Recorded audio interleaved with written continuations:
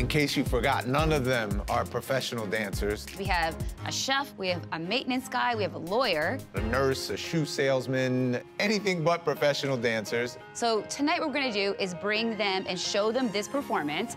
Hopefully they don't crap their pants. They're about to see what professional looks like. Adam, good morning. Good morning. How are you, Jeff? I'm doing great. Greetings from Las Vegas. Thanks for joining me to talk about Finding Magic Mike on HBO Max.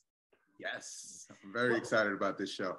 Well, you know, you play Tito in Magic Mike, and it's almost a decade later, and Magic Mike is still around, bigger than ever. Did you ever think it would have such staying power? Oh man, I, I mean, we knew at some point during the filming of the first movie that that something special was happening, that we were making a movie that that was going to resonate. I think we all really felt confident about that. But um, I don't think anybody realized that Magic Mike would turn into the global brand that it's become. No, no one. You know, and the new series Finding Magic Mike streaming on HBO Max, this reality show where everyday men find their magic. They have to go to dancing boot camp, don't they? What what were they facing in the weeks ahead, these contestants?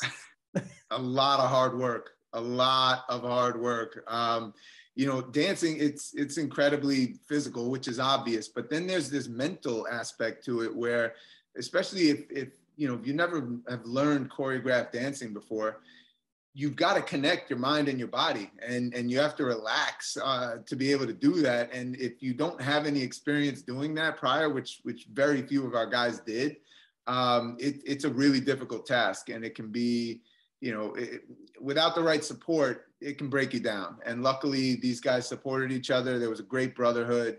Our choreographers Alison Faulk and luke broadlick were you know just couldn't ask for better coaches they were the same coaches that got the cast of the two Magic Mike movies ready.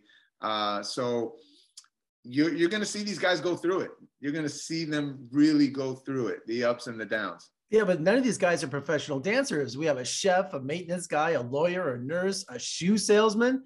I mean, these guys also have you test their confidence too. They have to sell it to the crowd, don't they?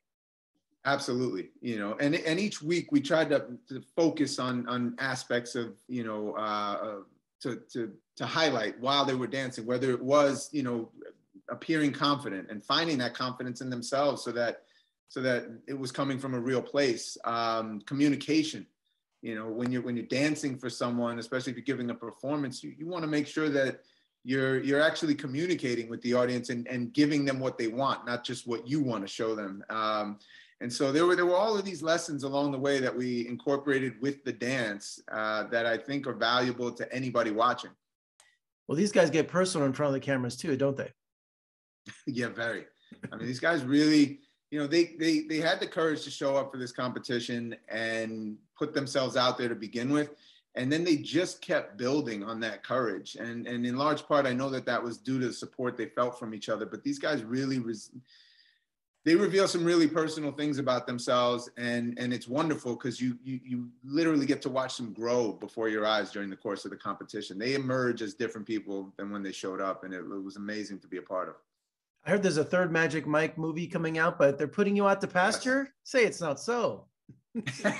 Well i wouldn't say we're out to pasture. We're all doing other wonderful things like shows like this but i think it was uh, I, I think they might have felt it was time to bring in a new generation and pass the baton. So rightly so, Mike Lane uh, will will do that. And um, I don't know, maybe maybe the maybe the older guys will will pop in for a cameo to to cheer on the new guys at some point. We'll see. Well, you're still serious about staying in shape. I mean, look at those weights behind you. I mean, I'm scared just yeah. looking at them.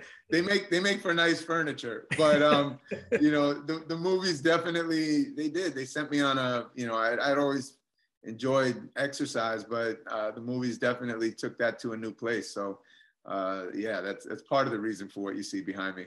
and and finally today, you know, I'm I'm here in Las Vegas, Magic Mike live at the Sahara Hotel. I hear it's just more popular than ever.